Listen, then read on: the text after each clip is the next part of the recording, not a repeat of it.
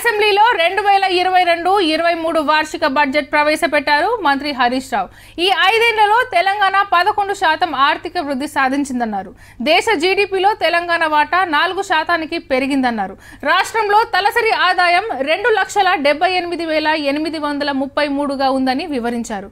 వామ్మో ఏంది లెక్కలు? ఏం అర్థమైతలేదు కదా?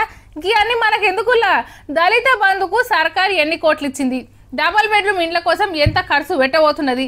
పింఛన్లకు ఎంత కళ్యాణ లక్ష్మికి ఎంత మొత్తం అర్థమయ్యేటట్టు మేము చెప్తాము సెలవు అసెంబ్లీ.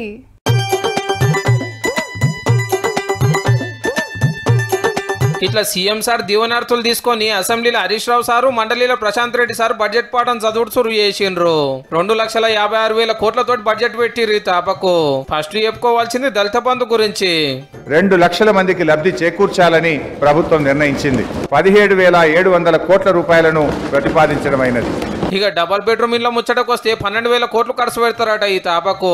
సొంత జాగా కలిగిన వారు తమ స్థలంలో డబుల్ బెడ్రూమ్ ఇల్లు కట్టుకోవడం కోసం మూడు లక్షల రూపాయల చొప్పున అందించాలని సప్పట్లే సప్పట్లు కానీ అప్పట్లో సొంత జాగా ఉంటే ఇల్లు కట్టుకోవడానికి ఐదు లక్షలు ఇస్తామని చెప్పి ఇప్పుడేమో మూడు లక్షలే అంటున్నారు. నియోజకవర్గానికి మూడు వేల ఇండ్ల చొప్పున కేటాయిస్తోంది. ఎమ్మెల్యేలు అంతా ఖుషి అయ్యిండ్రు. కొత్త సచివాలయం కడుతున్నారు కదా దానికో ఇంకో ఆరు వందల కోట్లు కాళేశ్వరం టూరిజాన్ని డెవలప్మెంట్ చేస్తానికి ఏడు వందల యాభై కోట్లు ఖర్చు పెడతారట.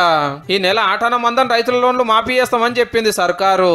ఇక వ్యవసాయానికి ఇరవై నాలుగు వేల కోట్లు ప్రాజెక్టులకు ఇరవై రెండు వేల కోట్లు ఆసరా పింఛన్లకు పదకొండు వేల కోట్లు కళ్యాణ లక్ష్మి షాదీ ముబారక్ రెండు వేల ఏడు వందల యాభై కోట్లు మన ఊరు మన బడికి మూడున్నర వేల కోట్లు గిరిజనుల సంక్షేమం కోసం పన్నెండు వేల కోట్లు బీసీ సంక్షేమం కోసం ఐదు వేల ఏడు వందల కోట్లు పల్లె ప్రగతికి మూడు వేల మూడు వందల కోట్లు పోలీస్ శాఖకు తొమ్మిది వేల కోట్లు పెట్టిరు బడ్జెట్లా.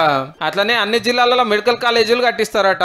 సెంటర్ వాళ్ళు తెలంగాణకు సాయం చేస్తలేరు మసు సతాయిస్తారు అయినా దేశంలో ఏక నెంబర్ రాష్ట్రం చేసినామని చెప్పుకొచ్చిండు పైసల మంత్రి హరీష్ రావు సారు.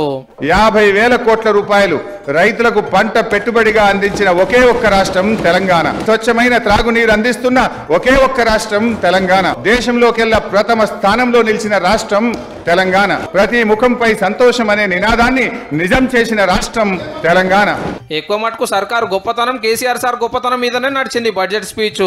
ఇది ముమ్మాటికి KCR mark budget. Super budget అని అధికార పార్టీ వాళ్ళు సపోర్ట్లు కొడితే కొత్తగా ఏం ఫాయిదా లేదని ప్రతిపక్షాలు అనుకొచ్చినాయి. బరువు పెంచుడు పేజీలు పెంచుడు అన్ని అబద్ధాలు పెంచాడు. పోయే ప్రభుత్వానికి చివరి బడ్జెట్ ఇది. ఇక రాని ప్రభుత్వానికి చివరి బడ్జెట్ ఇది. టిఆర్ఎస్ పార్టీ కేసీఆర్ గారు ప్రవేశపెట్టే చివరి బడ్జెట్ ఇది. రాష్ట్ర ప్రభుత్వాన్ని రద్దు చేయబోతున్నాడు మళ్ళీ కేసీఆర్ గారు అధికారంలోకి వచ్చేది లేదు. కనీసం వాళ్ళకు నిరుద్యోగ భృతి అయినా ఇస్తాడేమని నిరుద్యోగులు ఆశిస్తుంటే వాళ్ళ ఆశల మీద నీళ్ళు చల్లిండు అసెంబ్లీని పదిహేను తారీఖు దాకా నడిపిస్తారట నడిమిట్ల రెండు రోజులు తాతీలు తీసేస్తే సభ నడిచేది ఇంకో ఆరు రోజులే ఈ ముచ్చటి ఇట్లుంటే అటు ఓయూ చేసి ఇటు కాంగ్రెస్ ఎన్ఎస్యుఐ కార్యకర్తలు అసెంబ్లీ ముట్టడికి వచ్చిరు కొలువుల కోసము